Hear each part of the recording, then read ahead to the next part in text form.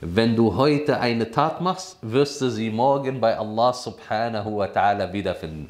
Und ich wundere mich über viele Muslime, wenn sie dieses verinnerlicht haben, dass sie die Taten, die sie heute machen, morgen bei Allah subhanahu wa ta'ala wiederfinden, dass sie so wenig an guten Taten machen. Es gibt Leute, die glauben nicht an Allah subhanahu wa ta'ala und an den jüngsten Tag.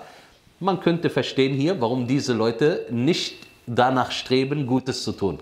Aber jemand, der sagt, er glaubt an Allah und den jüngsten Tag, hier ist es sehr schwer verständlich zu glauben, zu wissen, warum diese Person so wenig an guten Taten macht.